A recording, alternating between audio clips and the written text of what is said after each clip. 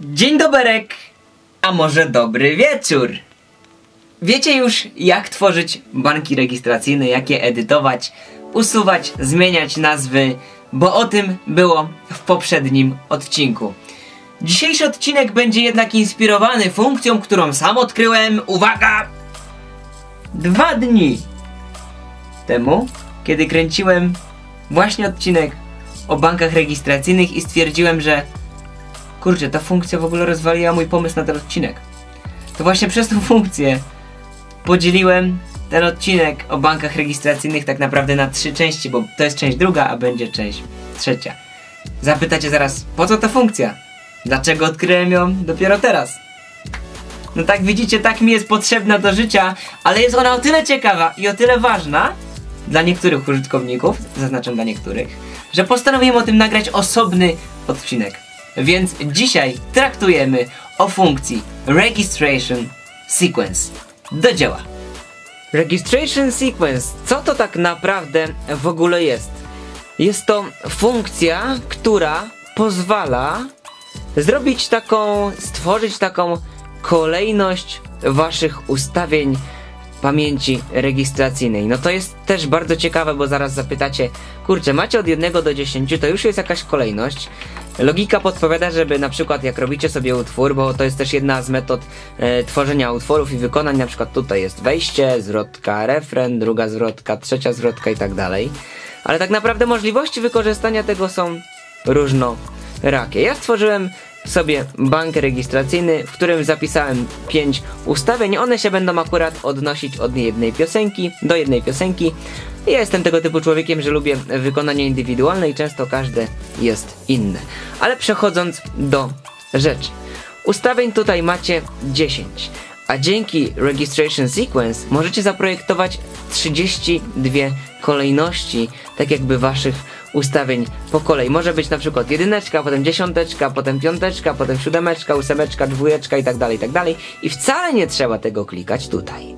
Można to zmieniać pedałami nożnymi. Rączki macie tylko dwie, palców macie tylko 10, ale nóżki macie jeszcze do tego dwie.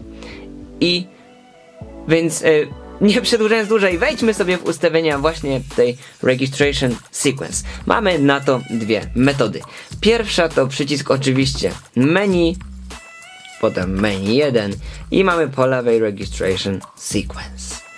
Możemy również w to wejść funkcją direct access i klikamy na przycisk memory. I jak widzicie registration sequence. Klikamy sobie on i tutaj mamy informację pedal control. Tylko pedałami nożymi można sterować e, registration sequence, no i oczywiście jeszcze y, ręcznie klikając, no ale my chcielibyśmy nasze rączki odciążyć.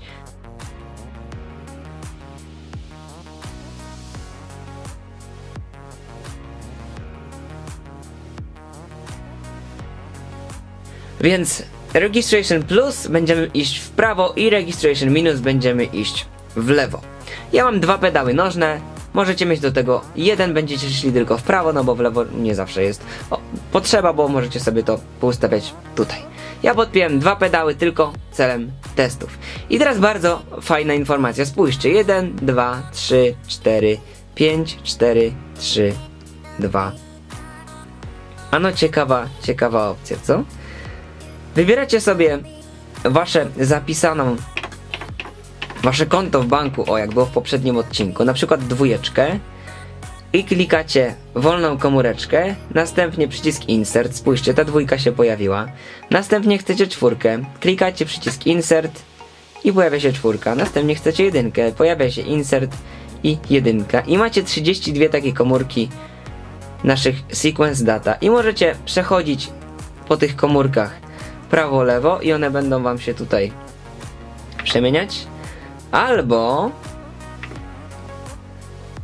mamy, macie, możemy sobie zmieniać te ustawienia właśnie pedałami nożnymi. I spójrzcie tutaj na górny, lewy róg ekranu. Pojawiły mi się te cyferki właśnie obok nazwy banku rejestracyjnego. To jest moja kolejność Registration Sequence. I spójrzcie co się będzie działo tutaj. I spójrzcie co się będzie działo tutaj.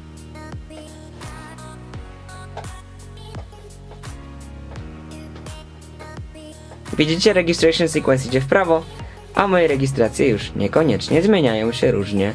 Tak jak ja sobie to poprogramowałem, tak mi się moja registration sequence zmienia. A no co to oznacza? A no to oznacza, że macie dodatkową funkcję i możliwość aranżacji waszych utworów właśnie w oparciu o funkcję registration sequence. A jak to wygląda w praktyce, to już wam pokazuję.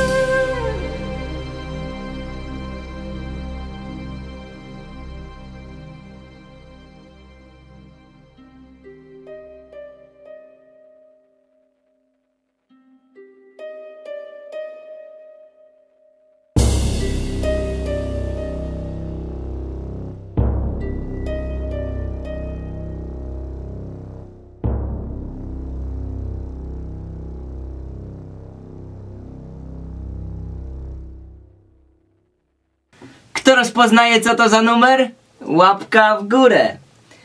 Jak widzicie, nie klikałem żadnego z przycisków banków rejestracyjnych mojej pamięci. Zmieniałem sobie registration sequence nogą.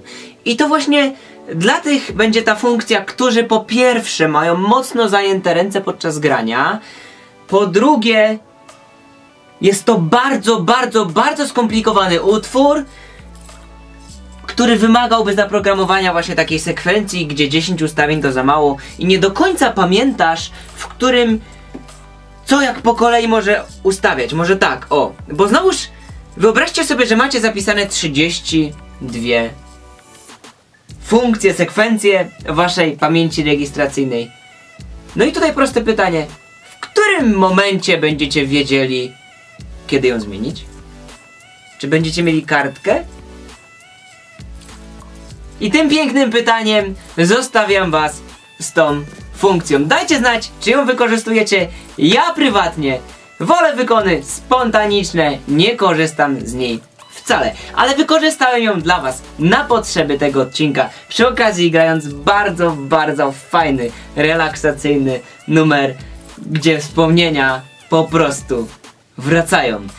Dzięki wam serdeczne, to drugi z trzech odcinków o pamięci rejestracyjnej. Kolejnym porozmawiamy o tworzeniu repertuaru oparciu o pamięć rejestracyjną i w jaki sposób najlepiej go stworzyć tak, aby nie tracić na to za dużo czasu. Więc dzięki wam serdeczne i do zobaczenia w następnym odcinku.